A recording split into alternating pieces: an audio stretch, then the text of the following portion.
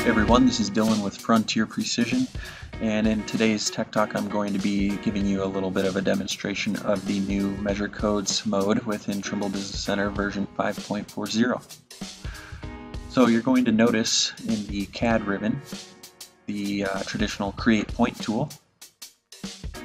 That command opens up, we now have Measure Codes mode, and that's designed to look exactly like it is in Trimble Access we have uh, various feature code groups here to choose from uh, depending on how your uh, feature code library is built and designed. Um, and then a few other features here that I'll get into. So um, if you are someone who does, who does not have a feature code library yet, um, you can go under the Survey tab and click the New Feature Library button that will allow you to start uh, designing a new feature library here within Trimble Business Center. Um, you could also open up uh, Feature Definition Manager if uh, you'd like to design it within the traditional Feature Definition Manager program itself. Okay, so once you import a feature code library FXL file, you'll find that here in, feature, uh, in Project Explorer under Feature Libraries.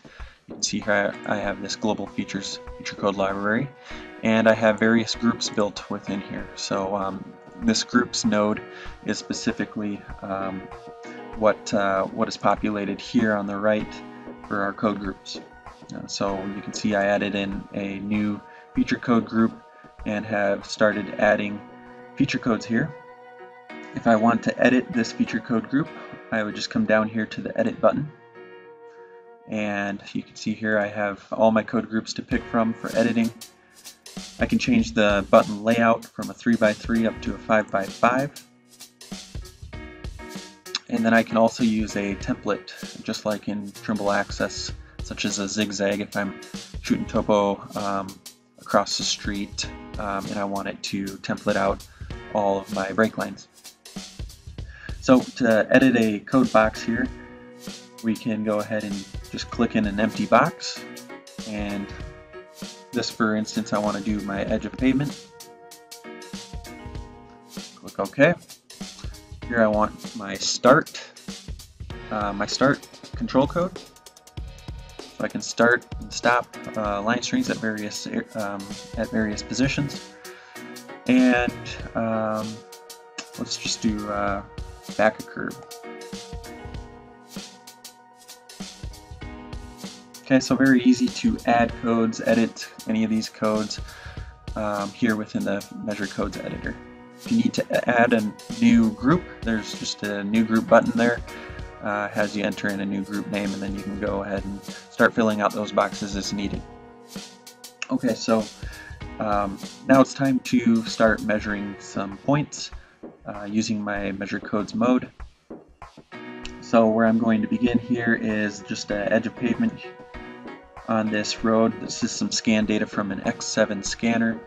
Um, so this is a very useful way for um, doing this more virtual type surveying here in the office from scan data.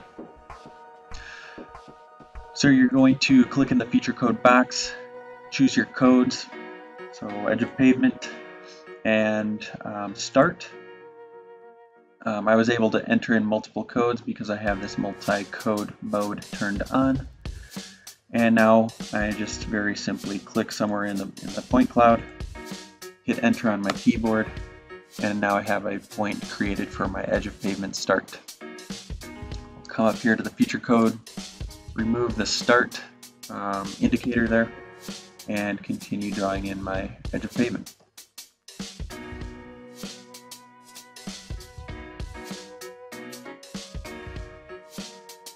Okay. Um, so measure codes is very useful for, um, for not only measuring you know, individual points, but also when you're in an instance shooting topo or, or an as-built or something where you are constantly changing your code. So, um, so we're going to demonstrate switching over to a uh, utility. Let's go ahead and actually this is under my water utilities. I have a uh, sanitary manhole that I want to shoot. So I'm going to edit my edge of pavement and instead choose sanitary manhole point and I have a sanitary manhole here. And you can see I have a symbol created for my sanitary manhole so that automatically populates in there really quickly. And um, so now I can switch back to my back of curb, which is under my Dylan demo code group. So I'm going to choose back of curb. I can also edit the string number by clicking on the plus or minus button. And this is going to be the start of my back of curb. I'm going to start this, let's just say right there. And I actually made a mistake there. I'll come back and fix that in a second. I should have deleted that start indicator.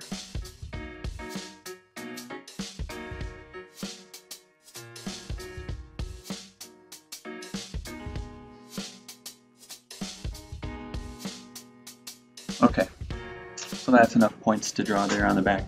Again, I just did that really quickly to get the point across. Um, if I need to come back and, and edit that code, um, I would just simply um, come up here to my points. Now there's several ways to do this actually. Come up here to my points, find the point number, looks like number 39, come in here and edit this to back of curb one without the start control code. So really easy, quick to do that. So that should uh, be a quick uh, demonstration. Hopefully that uh, makes sense there for using the measure codes dialog um, and how that works. Now if you want to process your feature coded line work, we just come up here to our survey tab, choose process feature codes choose keyed in block as our source and choose process sources. Now I have some line work drawn in for those points that I shot. Turn off the point cloud to show you that. There you go. Thanks for joining us for this Tech Talk. Um, hopefully you learned something beneficial and will join us again next time.